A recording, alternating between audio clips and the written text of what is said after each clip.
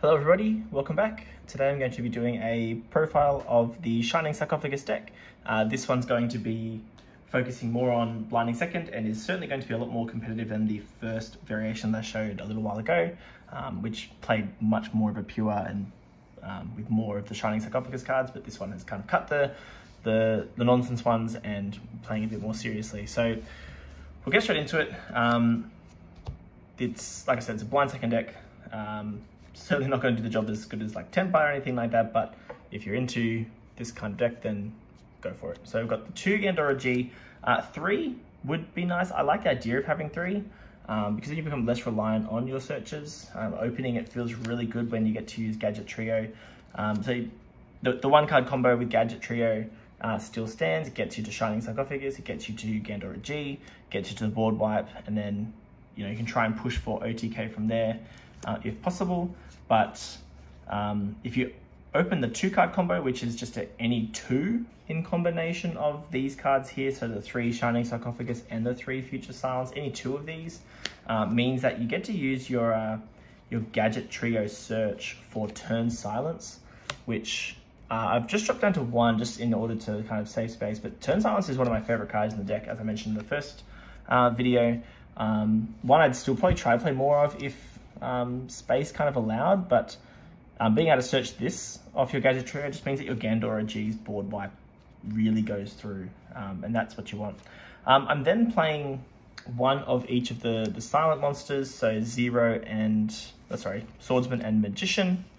Um, I'm not playing ties that bind. I'm playing it in the side deck currently just as a, you know, and sometimes you, you, you certainly opt to go first with the deck. Um, Usually I would do that if maybe, I don't know, shifter sometimes doesn't feel as good, but sometimes you will certainly choose to opt to go first depending on what you're, you're up against and siding in ties that bind can feel a bit better. Um, the other place where you might like, opt to play, and maybe if I had some more room, I'd, I'd choose to play it, um, is just because sometimes you don't OTK and then you really don't set up much of a board with this deck at all. Um, and so at least ties that bind allows you to get two of these guys on the field but you usually already have one on the field through Gandora. So ties that bind becomes just that little bit more awkward because you've usually already used Gadget Trio, uh, and so you don't really have any monsters that you really want to summon off, um, off ties that bind. This will all change soon in Infinite Forbidden, so when we get the, the Dark Magician monster, that's going to be the thing that you summon off Gandora G a lot of the time. You also might summon the Summon Skull monster because it's a it's a steal, um, so that's pretty nice as well. So you'll have better targets for Gandora G, meaning your ties that bind can just summon the two silent monsters and then you're kind of off to the races from there. Um, but that is all it is for the engine. Um, trying to keep it as minimal as possible. And then we're kind of relying on the non-engine, of course, to carry. Um, one difference is I'm playing Extravagance. Um, Extravagance is a great card. I was uh, it, it, provides great ash bait um, for Branded Fusion. So between pot, between Branded Fusion, this is where ash is usually going to fall. Um, I also wasn't playing pot before um, because I only had one Dragoon, um, but since the Rarity Collection came out, I now have more Dragoon. So um, that's made my decision to play Pot of Extravagance a bit easier for me. Um, Dragoon's still a crazy card. It combos so nicely with Gandora G because it can't get destroyed by card effects. So having Branded Fusion plus the Gandora G board wipe is awesome if, of course, Branded Fusion resolves, because then you, you've got Dragoon, you've got Gandora, you've got Silent Magician or Silent Swordsman, either one, and you certainly are winning the game at that point. Um, so alongside that, we've got Fenrir. Um, Fen Fenrir is one that I'm, uh, it's, it's, I'm feeling less and less positive about. I think in a going second version, I'd probably, maybe Fenrir is not the best card. So potentially you cut this for something better, um, potentially just more hand traps or more board breakers, but I don't think Fenrir is the pick because you often get, you just nuke it with Gandora a lot of the time. Going first, having it just sit on an end board is probably better. Um, using Fenrir to like bait things going into attack is, is also pretty decent. So it does have some applications going second, but the fact that it sticks around on the field just for Gandora to, to nuke it is not the best synergy, so probably it's not the best card to be playing. Potentially could just play something else in the slot of Fenrir, but definitely for going first, Fenrir adds a bit more depth to what the deck's end board is. Um, for hand traps, we have the Shifter again. Shifter's crazy, Ash is good, Imperm is good. Um, yeah, you could just side out the Fenrir, like you take out the Fenrir for any other hand trap that um, you feel like playing. You could also play like Droplet, but I've really tried to build the deck without conflicting with Shifter as best as possible. That's again why we're playing Brand Fusion over something like Nadir Servant, just because there's no Shifter conflict. Um, the last six cards in the main deck, uh, we've got Talents, and we've got Lightning Storm and Duster. Just to, we've got a, a good mix of Board Breaker and uh, hand traps, but like I said, Fenrir out, put in something like uh, Veiler or Mourner or Forbidden Droplet, even like Ghost Ogre, but like all of those cards obviously do have issues with Shifter.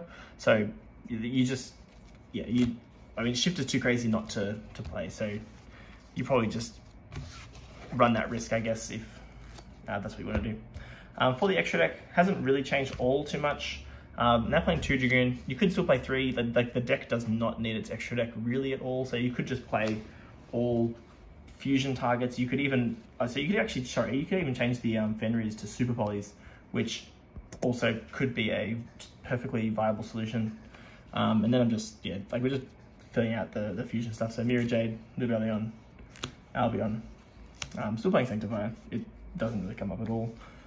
Uh, Typhon, and then just an OTK line with access code, Selene, the two Charmers, and SP to round it out. But I, I think Super Poly could certainly be an avenue that's worth exploring uh, over Fenrir for sure.